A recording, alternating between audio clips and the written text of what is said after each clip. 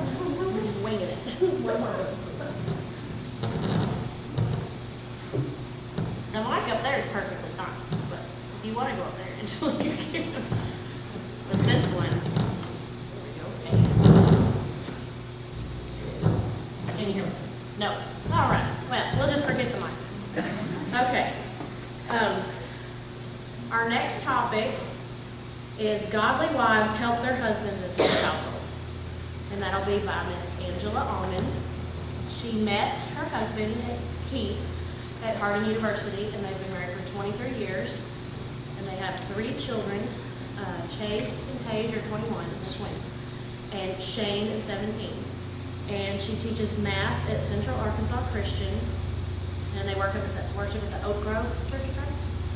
And I know she'll do an excellent job, and I can't wait to laugh and not cry.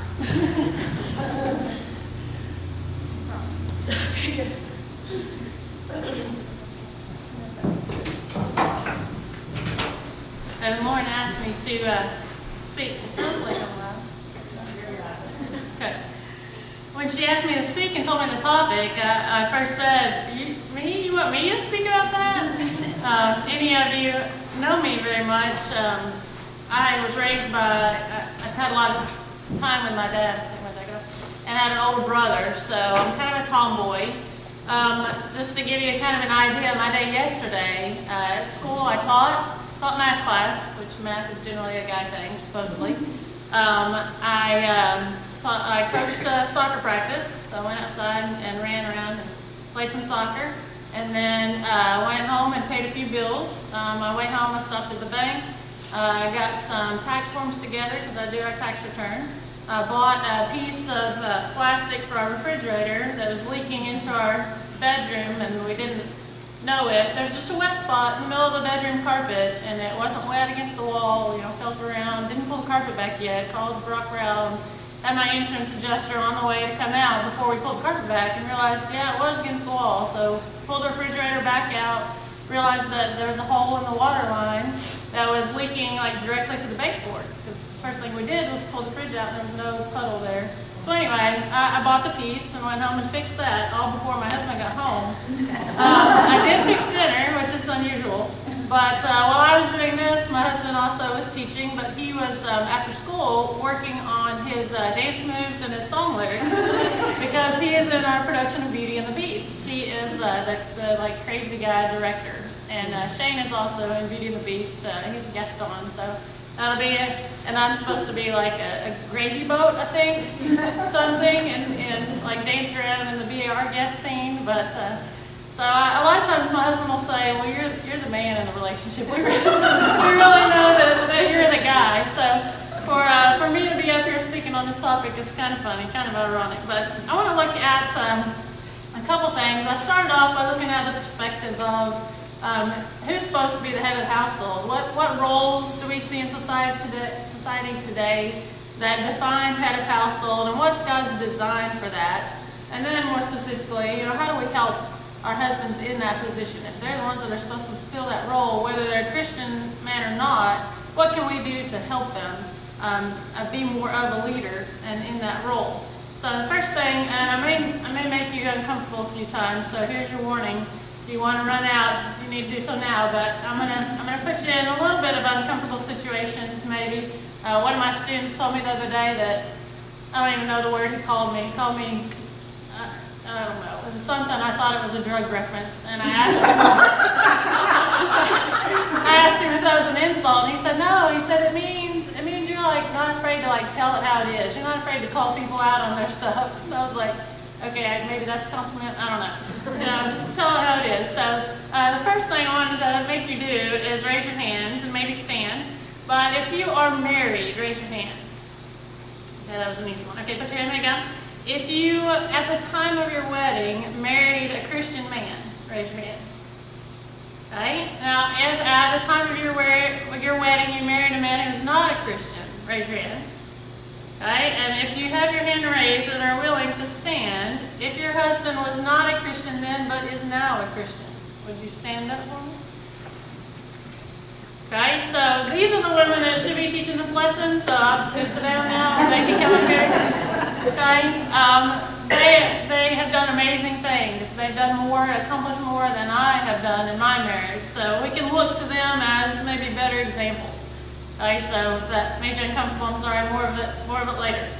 Um, but uh, what does God want uh, for us as His children? Think about most of us are moms, and what do we want for our kids? What was His design in marriage, and what does He want for us? What do we want for our kids? Uh, there's a story, uh, something that happened a few months ago in December. Some of you, if you're on Facebook, you probably heard about this. Um, there's a church in Tennessee that Patrick Mead is the preacher of, uh, Fourth Avenue in Franklin, Tennessee. And they had uh, a female girl from um, Lipscomb, to say love it, from Lipscomb who changed her degree from youth ministry, which in my realm of growing up, that's still weird for women to be able to have that as a as a degree. She changed it to a preaching ministry, and to fulfill that internship, she had to preach at least once. And so she shared the pulpit with Patrick Mead one Sunday morning and held, and co, co-preached, is that a word? Co, pre- I don't know the past tense of that, I teach math, and not English. So anyway, she shared the pulpit with him. And there were interviews, um, I can't remember the name of the company that did, that did the interview, that they allowed to interview them, but in his interview, he talked about uh, 1 Timothy 2. He mentioned this verse. So we're going to go there and start there. 1 Timothy 2, verse 11. Like teaching teens, you're kind of maybe I kind of know of things like this more often. You know, I hear a lot about uh, things and changes in the church, so it's it can be quite frightening sometimes. But he mentioned in the interview um, that in 1 Timothy 2, verse 11, it says, A woman should learn in quietness and full submission. I do not permit a woman to teach or to have authority over a man. She must be silent. And he talked about that verse and he said that in the churches we use that to say women are not allowed to preach. And he said, I believe that's a cultural thing. And I think the elders, before he came there, he said that they had decided that that was a cultural thing. And you've got to study that and study the context. You've got to make that decision for yourself too. There are verses above that that say, I don't want, I want women to dress modestly with decency, um, no braided hair, no gold or pearls. And, uh, you know, I've grown up thinking that was a cultural thing because that was the thing that the prostitutes of the day wore. And he's teaching us, you know, you don't need to dress like a prostitute. Um, so maybe that part of it was cultural. Uh, it talks about at the end women being saved through childbearing. I don't believe if you're not able to have a child that that means you can't go to heaven. So there's some things to study there that you've got to you've got to study and know about. But for me, the verse after verse 12 is kind of what does it for me. Um, in verse 13 it says, for because. So why is this happening? Why is he saying this? Why should women be silent? Because Adam was formed first and then Eve. So I think God's design from the very beginning was for Adam, for man, to be the head of the household, the head of the family. Think God was made first. Uh, we as women, Eve was made as a helpmate, a helpmeet to Adam. And I, I think that's where our role is. I think that's what God wants for us to do. Um, other things in the Bible I was thinking about, um, oh wait, I'll come back to that later. Other things, uh, in 1 Corinthians 11, 3. A few other verses, quite a few other verses that talk about this. But 1 Corinthians 11, 3 says, But I want you to know that the head of every man is Christ, the head of the woman is man, and the head of Christ is God. So from Adam to then Paul in the New Testament, and it's still enforcing, I believe, God's design, kind of a hierarchy. You've got God and Christ and man, and then us. Um, then Ephesians 5, which is the main passage. Ephesians 5, starting in verse 22. I'm going to read some of this also. Ephesians 5, 22, probably the section we're more familiar with. says, Wives, submit your husbands as to the Lord, for the husband is the head of the wife, as Christ is the head of the church, his body, of which he is the Savior. Now, as the church submits to Christ, so also wives should submit to their husbands in everything. The S word that we've gotten a bad rap for over time. Husbands, love your wives just as Christ loved the church and gave himself up for her to make her holy, cleansing her by the washing with water through the word. Through the word and to present her to himself as a radiant church without stain or wrinkle or any other blemish, but holy and blameless. In the same way, husbands ought to love their wives as their own bodies. He who loves his wife loves himself. After all, no one ever hated his own body, but he feeds and cares for it just as Christ does the church. For we are members of his body. For this reason, a man will leave his father and mother and be united to his wife, and the two will become one flesh. This is a profound mystery, but I'm talking about Christ and the church. However, each one of us uh, must also love his wife as he loves himself, and the wife must respect her husband. Right, so there's not, uh, there's a lot of stuff in there about us being submissive, but there's also a lot of stuff directing the husbands to be submissive as well, to treating us like Christ uh, treats the church. Uh, other things in the Old Testament, I was just looking back at different people in the Old Testament and trying to put myself in the in the wife's shoes. Like Noah, if I was Noah's wife, I'd be like, Okay, wait, you're going to do what? God told you to build what? Are you sure you want to do that? People are going to be like thinking you're crazy, and then they're going to think I'm crazy because I'm married to you. I mean, you know, what are you to do? Okay, but we, we don't know that much about her, but we know she didn't leave him, so we're assuming that she stood by him and helped him fulfill that role. I think about Abraham and Sarah, you know, they didn't have kids yet at the time God called them to leave. But in today's time, what does that look like? Is that like, okay, you got a job where, and you want us to move where? And my kid's a senior in high school right now, so, okay, you go take that job and go ahead and move, and I'm gonna stay here with the kids and let them finish high school, and then, then I'll come follow you. And then, a lot of times the marriage dissolves, because we're not supporting him or following him. So Sarah got up and went with Abraham. It was just a thing to do. Uh, some bad examples, um, Nadab with David and Abigail. Um, David came around and basically Nadab wasn't hospitable, didn't give him anything, didn't help him in any way. And Abigail found out that he hadn't done anything, um, so she rushed out and took stuff to David and his men, and she was hospitable toward David, and she was kind of covering her husband. She was kind of saving face. Otherwise, David probably would have come. He had planned to go the next day and kind of destroy Nadab's whole house, which may have been her son. So she ended up interceding there. Um, Job's wife, bad example, of course. You know, curse God and die. What are you thinking? You know, like, what? You obviously, you did something wrong. Otherwise, God wouldn't have done all this to you. No, let's just curse God and move on. Uh, not a very good example. In the New Testament, uh, one couple that I always think about in Acts 18 is uh, Priscilla and Aquila. We know a little bit about them. We know that Paul lived with them. They were tent makers. Um, Apollos was teaching at the time, and it says that he was well versed in the scripture, but they pulled him aside and taught him a better way, talking about baptism. He, he knew the baptism of John, and they taught him more fully. And it says they. And I picture them inviting him into their home, and I picture her being beside her husband and supporting him, and also teaching Apollos. I don't, I don't picture her being silent, but it's not, you know, a corporate, we want to label it corporate assembly. She's still teaching and being there, and I think they were good role models for Apollos also in what a Christian marriage was supposed to look like. So we looked a little bit about uh, head of household and, and our, our typical stereotypes in society.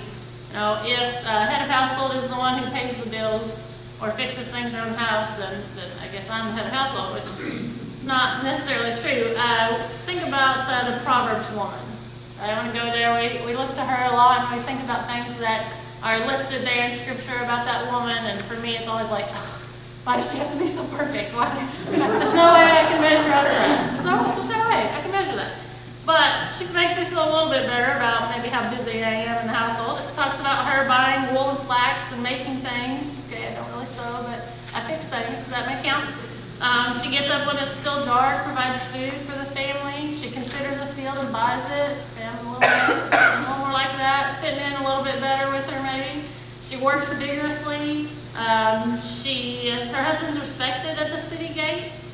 Uh, she's clothed with strength, can laugh at the days to come. Her children arise and call her blessed, and her husband also praises her. I think the things that she does brings honor to him. I think because of her, uh, he's blessed but also respected among the people. So we've got this awesome woman here that's an example for us, even though maybe in society's terms she's doing some of those head of household things. But that's not necessarily uh, God's design. I also posted things on Facebook. I asked for comments, and it's evident that I don't have very many friends on Facebook because not very many people reply. But I said, you know, what's your idea of head of household? Is it the person who mows the grass or pays the bills? And there's a couple of the responses I got. One said um, husband. One said um, Ephesians 5, 22 through 33. That's what I read. Uh, one of them said spiritual leader, the person who's responsible for the direction of the household. And I had a single a single friend of mine text me and say, uh, better tax deductions. So, you know. so that's uh, kind of what head of household maybe uh, means to some people. But I think we have to go back to Ephesians 5. Going back to Ephesians 5, what does that head of household look like? Is it spiritual matters? How is he um, the leader over us as Christ is to the church. Think about things that we can do in our home or things that my husband has done in our home that made me see him as head of household. It started with um, when we were dating and when we were first married, it started with uh, prayers, with saying prayers together and, and talking about spiritual matters together and him encouraging me and us studying the same topics together. I see him as being that leader uh, and then with children, bedtime stories and devotionals and conversations with our kids as our kids have gotten older. Um, if you're friends with Chase on Facebook, evidently he's battling instrumental music right now on Facebook. Um, but there's been some deep conversations that my husband, because he studied more than I have, basically. Um, he's been able to have some really intense conversations with Chase and Paige as they, as they matured. And that, uh, that's an amazing thing. That's so awesome and such a blessing for me. And to see my husband in that role makes me attracted to him, makes me love him even more. The conversations, um, you can see them working in the church as, as uh, kind of abiding or filling in those roles of head of household. Their leadership in the church, I think, takes that place too. If they're teaching or preaching or leading a song or um, leading a prayer, um, that, that to me is something that I can see him do and appreciate him for and love him for. There's a song that kind of talks about what, you know, think about what you want. I think for me, intrinsically, I think God has designed this desire within me to have a husband that is willing to do things like that. When he does things, when he steps out and he leads, uh, I love him even more. Um, there's a song called Lead Me, and I think it's, it is contemporary Christian, which I don't listen to a lot, but the first verses talks about this guy singing, I look around, see my wonderful life, almost perfect from the outside. In picture frames, I see my beautiful wife, always smiling, but on the inside, I can hear her saying, and the chorus, lead me with strong hands, stand up when I can't, don't leave me hungry for love, chasing dreams, what about us?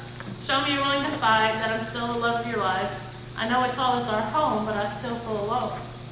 Uh, it's not necessarily um, scripture tied, but it's about that desire that we have. And then the next verse is children wanting their dad to be their leaders. And then the last verse, him asking God to help him lead. Um, so I think we want that. I know we want that for our kids. Right? For most of us, uh, if you're like me with my kids, I, I want the easy way for them. I want the best thing for them. Um, I, we've encouraged them to go to Christian colleges. Um, most of you probably got married when you were in college, and if they're at a Christian college, the chances of them meeting a Christian spouse, uh, I believe, are greater. Not that there's not bad stuff there, and if they're not spiritually grounded before they go, they may hear stuff depending on what college they go to. But that's another story. But um, if they if they find a Christian spouse, I think it's going to be easier for them in their life. There are days when they're going to wake up and not want to go to church, but if their spouse is a Christian, know, they're going to make the decision to get up and go. They're going to work together. Raising the kids um, may be easier. With my kids, with Chase and Paige, without really setting rules, we've kind of lucked out. They have always dated uh, members of the church. They've always dated Christians. And it wasn't that we said, you can't date someone that's not a Christian. Um, but they kind of, I think, both decided for themselves that's what they wanted, and neither's married yet. So, so far, it's worked. It's been, it's been good, and they've made that kind of a goal. Um, right now, both dating great people. Um, Shane, not so much. He's, you know, the baby of the family. So, um, when we were on vacation this Christmas, riding back, my husband said, you know, you haven't lived that long, but kids, you know, what, what regret, are there any regrets that you've had in your life so far? And I'll throw this out there. Paige said that she uh, wished that she'd gone to college single, like I recommended she do. So, a little proof there that I was maybe knew what I was talking about. But uh, Shane said that he wished he hadn't dated his first girlfriend, who was not a Christian. And uh, inside, I'm like, yes, you know, glad that he can look back. You know, all those those couple months that we were fighting over, you know, his rules were more strict than her rules, and you know, her parents would let her do other things that we didn't, and you know, you fight those battles sometimes with your kids. So I was glad that he kind of learned that lesson. Um, but we want the easy way for him. We, we know that things that we face as Christians, or for me with a Christian spouse, are still difficult. And I can't imagine, like some of you having to go through um, some of those battles with a spouse who isn't a Christian. Maybe they're still great husbands and supportive, um, but it's hard. 1 Peter 3 1 is what we look to, a lot of us. Um, if you're married to a non-Christian, a lot of times we go to this verse. It says, Wives in the same way be submissive to your husbands, so that if any of them do not believe the word, they may be won over, without words, by the behavior of their wives. And every time I read this verse, I go to Anna. And I make and I'm cry now. But she has always been a great example for me uh, with this verse. I, I, have been around her a lot at Greenbrier, knew that um, her husband was a good man and we loved him, but he wasn't always involved in the church. And to see him now and Sunday night over the summer get up and teach class, and um, because of her spirit, I believe that she lived out this verse. And I believe that she wants the most um, she wants would probably say she still wants the easy route for her kids. And I know she feels that way about Tara and Ashley and Ryan. And I know um, Tara's got, Ryan um, has become an amazing man to me. I know that. So I'm not sure about everything with um, Tara and Hayes and Bradley, but I know that Hayes is going to be fine because he's got Ryan who's up here leading and serving and leading singing and saying prayers, and he's got an awesome example in him and now in his grandpa that he didn't once have. And to be able to share that with your grandkids and your kids is just amazing to me. It's awesome that uh, they've been able to, to do that, to win them over. I didn't have that. You know, my route was a lot easier. My husband was uh, grew up in a Christian home and um, was already taught at a young age to take on those leadership roles. So I, I have had the easy role. Okay, so changing gears a little bit finally through that, but what can we do? What we want to look at next. What can we do to help um, our, our spouse, whether they're Christian or not? So I've got a few um, basic answers that you're probably going to expect hear, and then I've got some that you may not expect hear. Um, but what can we do to help our spouse? First thing, number one, obviously, is to pray. So pray without ceasing. We should pray for our spouse. Um, when I'm mad at my husband, if I pray about him, pray for him, I can't be very mad very long, right? Um, I want to pray for myself to want to fulfill my role as a Christian wife, no matter what he does, regardless of his actions. I still answer to God, whether my husband's a Christian or not. I answer to God first. So I'm praying that I would desire, I want the desire to fulfill my roles as his Christian wife, as his spouse. And then pray for your husband to want to fulfill his roles. If he's not a Christian, you're praying that he will become one, obviously, but that he will want to or want the desire, have the desire based on maybe how you lead and what you do. He's going to want to be a better man. Um, also, be hospitable. Like Abigail, a little bit. I think when we open our homes, or we're able to model marriage to others. I also think being hospitable, opening your home allows him or kind of puts him, your husband, in a leadership role that he might not take otherwise. He may not be up in church leading, but if you have people in your home, typically people are going to look to him to see, you know, what kind of house is he running? Is he leading this home? And I, I think that kind of forces him into a position without, you know, really being undermining and devious. Um, also, be in the Word. We've got to know what God wants for us, how He wants us to act in our marriage, so that we can win our husbands over, so that we can be encouraging and supportive. We've got to read it to know what we should be doing. Um, be on the same page when it comes to uh, the, the kids. Discipline things, uh, again, Christian or not Christian husband. Got, I think you have to have conversations about what you're going to do and then stand together on what you actually do. When you go to talk to the kids, if it's a discipline or a major decision for your family, you got, I think, almost to the side, separate. You've got to decide, discuss it, and then you've got to maybe concede at times and back his decision and show that you're supporting him in front of the kids. Um, you've seen, heard probably quite a bit. Adrian Hickman talks about, he's a marriage counselor, was his, um, talks about treating your spouse like a king or, king or queen for 30 days. You know, try this for 30 days and see the results that can happen. If your husband is not leading like he should and you treat him, put him in that position, treat him like a king, he's gonna, he's gonna do more things uh, like a, in that leadership role. Um, maybe fireproof, the love dare, or doing things that things that we can do that end up having a result in his actions. Um, so kind of back to that uncomfortable stuff. How many of you have heard of the um, five love languages? Okay, good. Can you, do you know what they are? Can you quote them? Sorry, Beth, can. What's one of them? Uh, well, acts of service. Yeah, acts of service. Acts of service is one. Physical touch. Physical touch. Quality time. Quality time. Words of affirmation. Words of affirmation and receiving gifts. And there are cute little apps on your phone that you can download and you can do the little test and maybe you should with your husband find out what their love languages are. Um, but most men, and I'm making a generalization here, but I'm going to assume, like mine, your husband is probably um, going to fall into two categories. For most men, I think their love language is either words of affirmation or physical touch. Uh, words of affirmation, uh, things that we can do to encourage, never underestimate an encouraging word, a kind word, an encouraging word.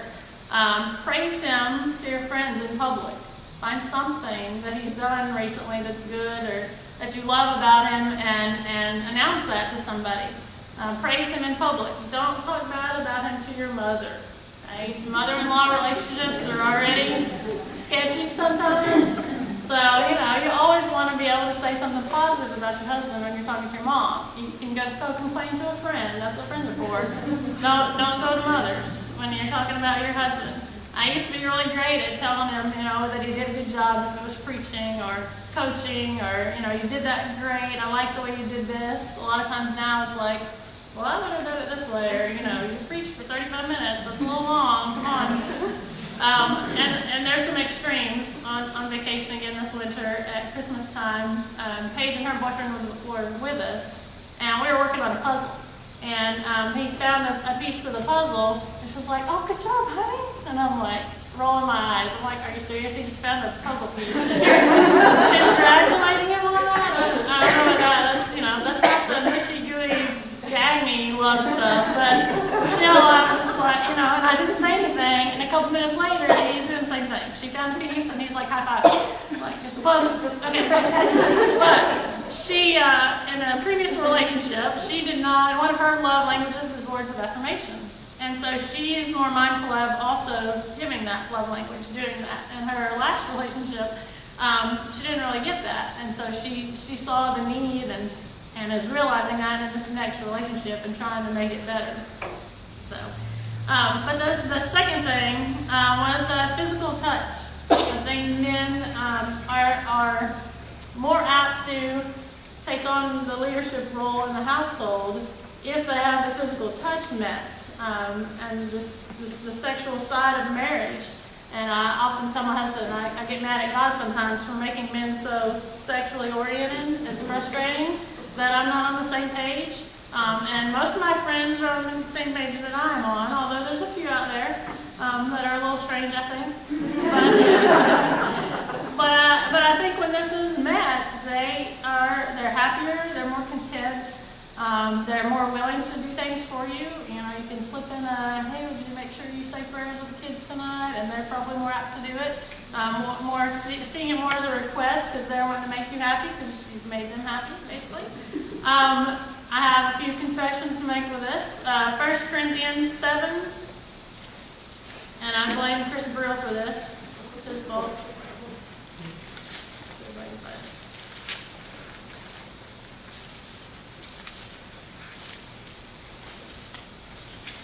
First Corinthians 7 and just 3 through 5. The husband should fulfill his marital duty to his wife, and likewise the wife to her husband.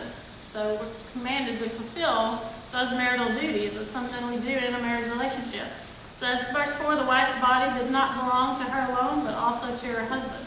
In the same way, the husband's body does not belong to him alone, but also to his wife. Do not deprive each other except by mutual consent and for a time, so that you may devote yourselves to prayer. So we throw in that pray without ceasing verse and we're covered but, you know.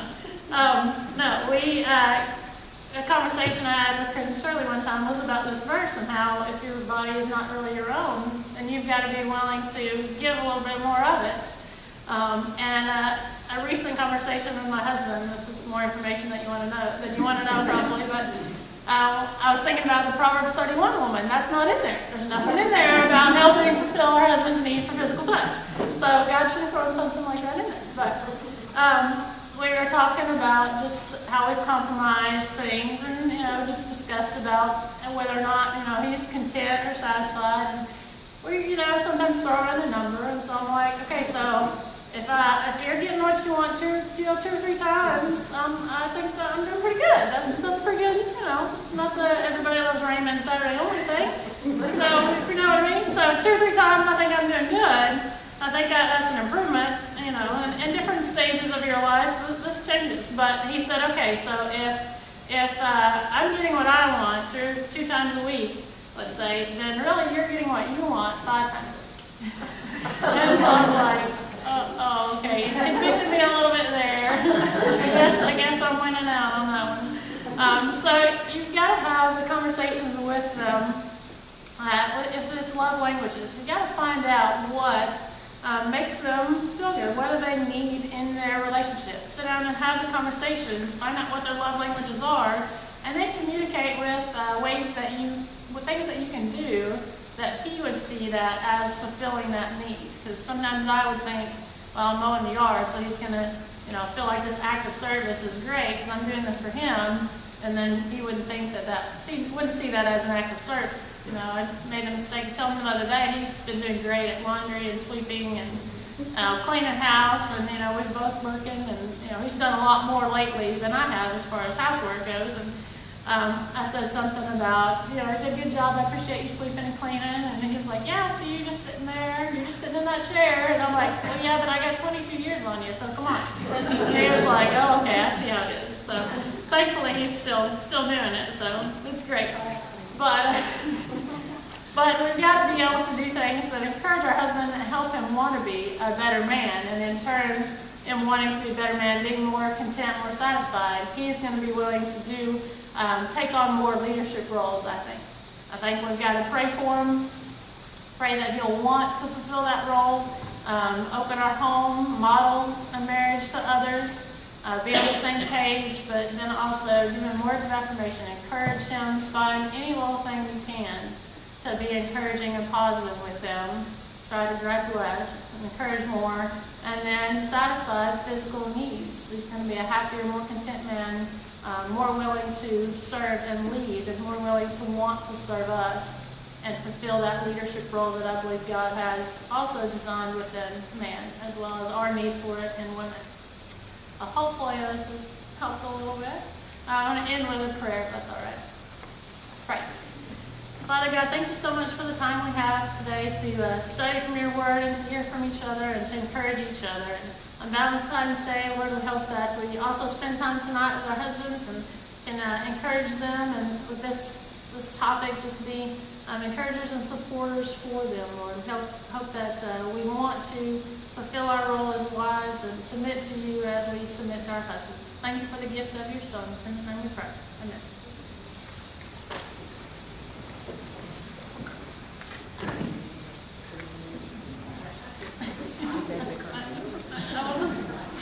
And I saw Ann at Walmart the other day, and I, I thought, God's, God's way of me to ask her if it's okay and then I didn't do it.